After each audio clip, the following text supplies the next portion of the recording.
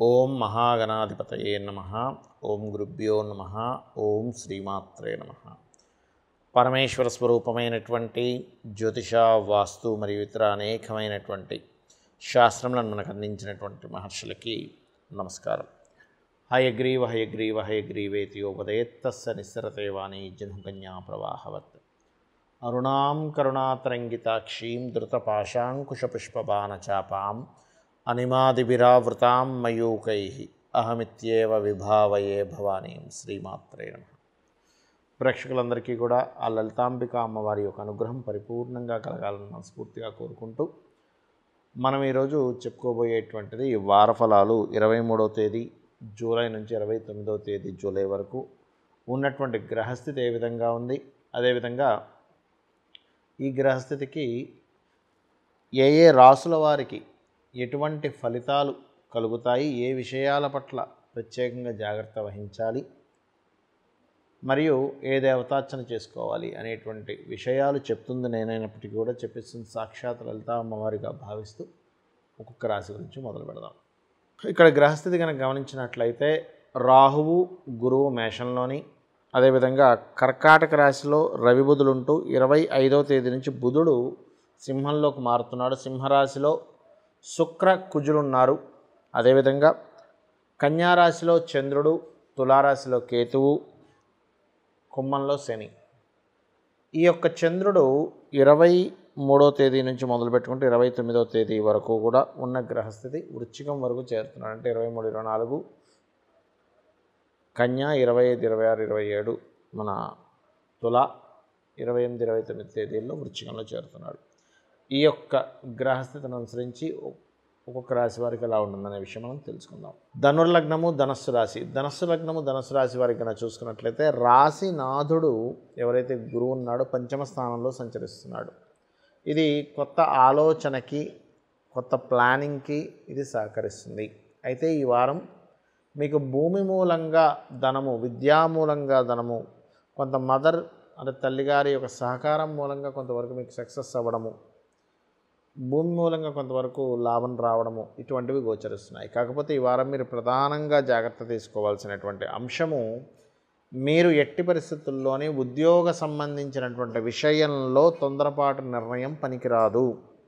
తొందరపాటు పని ఏముందిలే నాకు ఇంకా ఉద్యోగం వస్తుందిలే అని చెప్పి చాలామంది మానేస్తూ ఉంటారు.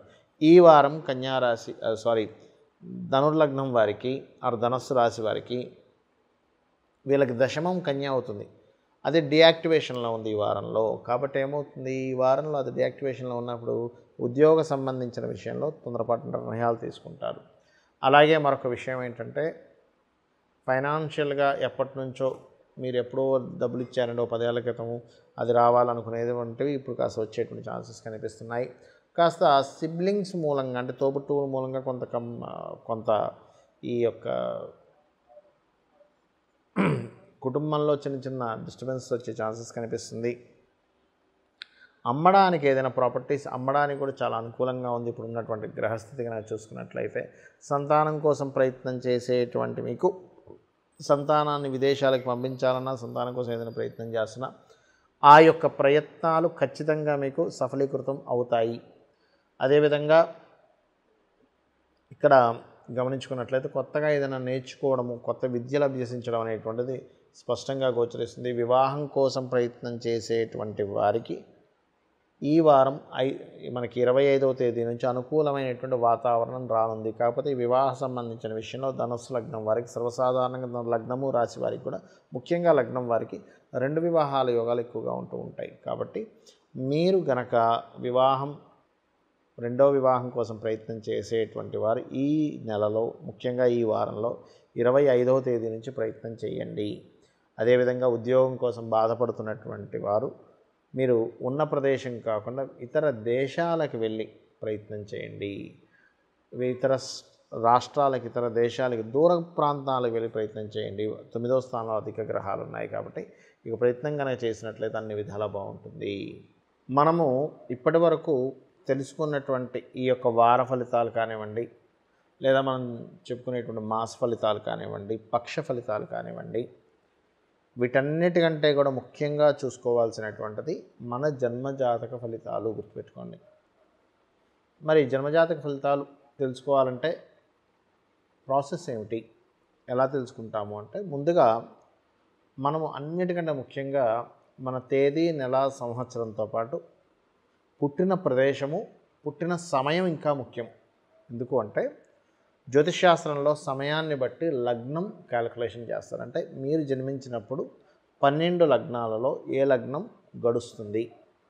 మేషం నుంచి మీనం వరకు పన్నెండు లగ్నాలు ఉంటాయి పన్నెండు రాసుల్లాగే. దాని ద్వారా మీరేమిటి? ప్రతి వ్యక్తికి కూడా వారికంటూ స్పెసిఫిక్గా టాలెంట్ ఉంటుంది. ఒక యూనిక్నెస్ ఉంటుంది.